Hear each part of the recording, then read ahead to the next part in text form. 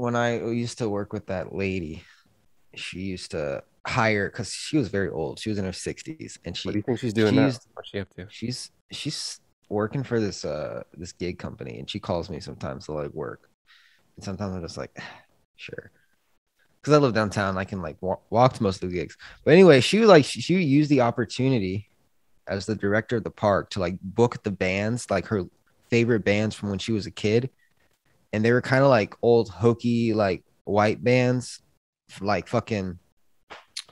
I can't even fucking name them, but they were like big in the 70s. And then when the bands would come to the to the shows, they were all fucking old. They had this old ass entourage, and they would fucking you could tell they'd been touring for decades because they fucking came to work and like everyone was like, "Move aside, Junior, I fucking got this." And these fucking fat roadies came, fucking loaded up the fucking shit. Like the it, it was kind of mesmerizing to see how fast they mic'd up a drum set, but they would fucking uh, they'd just be so fucking old, dude. And I could tell that like she would be the only one having a good time listening to the music, and like the crowd that the bands would attract were always like 50 year olds, and it was kind of like weird because you're like you're in downtown LA with like all this like all these different races and all this culture, and just the whitest bands you can think of would just be fucking coming in, and then she would like bring cover bands in, dude. Oh my god, she brought in this fucking Beatles cover band, but it was like serious. It was like a Vegas act, Oh, okay. and and they were like good, but it was still a cover band. Yeah. And I was like, dude, like, come on, you're fucking Big Los drop. Angeles. But yeah, now the new the new guy like hires like bands of color. Yeah. Is there a diverse music taste though, or is it kind of the same? it was all pretty much the same. Like anything newer than I think the most the most modern act I ever saw under her watch was Smash Mouth. What about this guy's? Oh, this guy. Well, there hasn't been big shows, but like the small shows, like they're like local bands.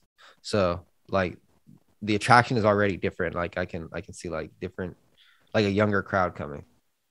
Is there like themes for the events Uh it's just like this month well or this week? You got small local cats. this week it's like salsa or something. Like this salsa band or something. And, like people come out and they dance and shit. I'm just like, oh, so this is what culture is.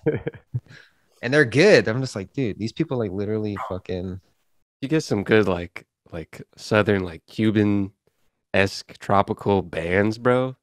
yeah, dude. Were like horns and congas. Oh, there were these women coming out last year. I mean, last week.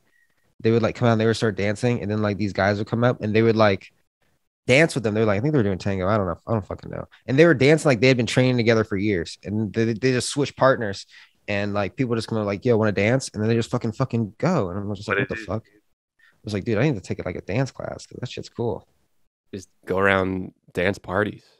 Yeah, I'm just like, what the fuck? That because I, I was doing an interview one time with a producer who grew up in New York, but he was uh, Puerto Rican, and he was like, you'd, he'd go to these like house parties, and they play like like salsa music, and and cats just kind of like dance, and that's what like what they do.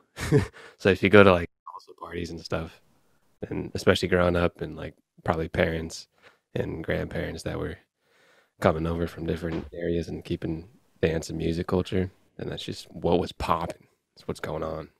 Yeah, dude, fucking music's wild, huh? Yeah. It's kind of like a drug.